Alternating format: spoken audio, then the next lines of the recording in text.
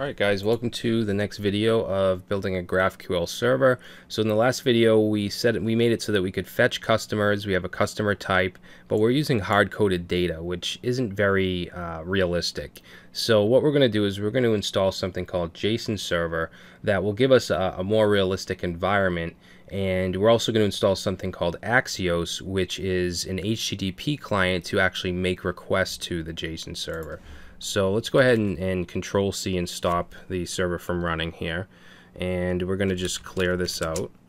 And then I'm going to say npm install uh, JSON server. And we also want to install Axios. Okay, and we'll do dash dash save. Alright, and then what I'm going to do is I'm going to go to my package.json file and add another script here. This one is going to be JSON colon server. All right.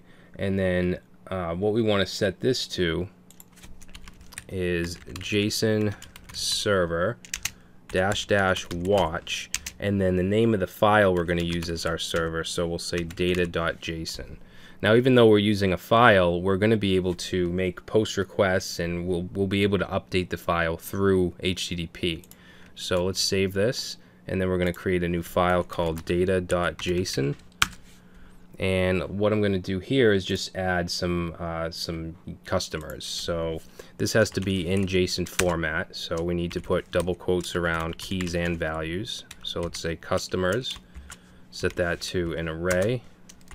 And then I'm actually going to just uh, paste these in just to be a little quicker. Okay let me just tab this over and we'll just fix this up.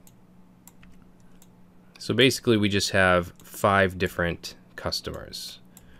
Okay, so five different customers with the ID, name, email, and age. We have the same data structure, uh, but we'll be able to treat this as a real database, so or a real API. So let's save this, and we'll close it up. And then what we're going to do is go back to our schema.js file, and I'm going to just comment out the hard-coded data we have. Okay, and then let's go down to our, let's see, first we'll deal with the customer field. Now what we were doing was just looping through the data, the hard-coded data, and outputting whatever the, that specific customer was. Uh, but what we're going to do now is make a request, a GET request, and we're going to get the data that way. So I'll keep this for you guys just so you have it. So I'm just going to comment it out. All right, and then all we have to do is first of all bring in Axios so that we can make a request. Axios is a is an awesome uh, client to make get requests and posts and updates and all that. So let's say require Axios. Okay, and then we'll go back down and we're just going to return Axios uh, well, you know what? First of all, let's let's start up our server, our JSON server. So uh, I'm going to create a new terminal, and I'm going to run npm run what I call it JSON server. Okay, just to make sure that that runs. Okay, so that's running on localhost 3000 by default.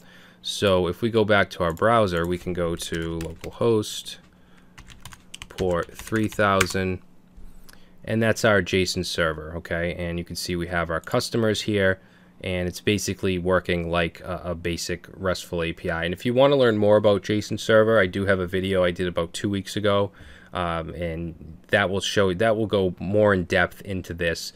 But that's not really what we're focusing on. Uh, we just need an example of something to work with that's more realistic.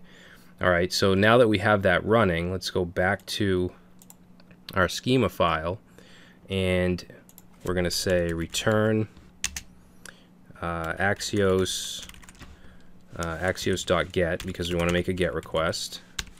And we want to make a GET request to HTTP. And we're going to do localhost port 3000, that's our JSON server, slash customers, slash, and then the ID. Because if we go back to our JSON server and we go to customer slash one, that'll get us the first customer. Okay, so remember we can get the ID with this args.id. So what we'll do is just concatenate it. Whoops. And we'll say args.id. Okay, and then this is actually going to return a promise. So we're going to say dot then, and then that's going to give us a response. Now, one little uh, gotcha with this is that it's going to return it in an, uh, in a data object. So we just want to basically um, map this to res response.data.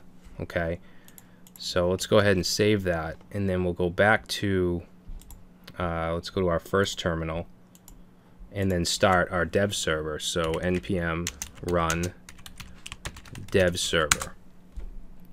Okay, so that's now running on port 4000. So we have the JSON server on 3000. We have our, our GraphQL on 4000. So now let's go back to GraphiQL, and let's just uh, let's just re refresh this completely. All right. And now let's see if we can fetch a customer. So we're going to put our curly braces and customer, let's say with the ID of, let's do 4 because we know the hard-coded data didn't have a 4. Um, so we're, we're, fetch, we're fetching it through JSON server now. And let's say that we want to get back the name and the email and the age. So we'll run that. And there we go, Sam Marks. So if we look at our file, our data.json file, and we look at 4, that's Sam Marks. So it's making an actual request using Axios to JSON server and returning it through GraphQL. Okay, so hopefully that makes sense. Hopefully I haven't lost you guys. So now what I want to do is I want to make this work. So customers, right now we'll get an error because it doesn't know what customers is because this hard-coded data is now commented out. So we want to make another request using Axios. So I'll just copy this one and inside the resolve let's paste that in. Now we don't need this slash ID on the end because we're getting all customers right? Uh, so let's do that. Whoops I got rid of the quote. And then again we're just gonna it's gonna return a promise. We're gonna say dot then and we're gonna map it to res dot data. So let's save that. And now if we go back to GraphiQL and let's just say customers actually let's put that on a different line. So customers and let's say we want the name and the age. So we'll run that and there we go. It's going to give us all of our customers. So we're now working with more uh, a more realistic environment. In the next video we're going to start to work with mutations where we can actually edit this data from GraphiQL uh, and obviously we could edit it from a client if we connected it to our, our server. Alright so I will see you in the next video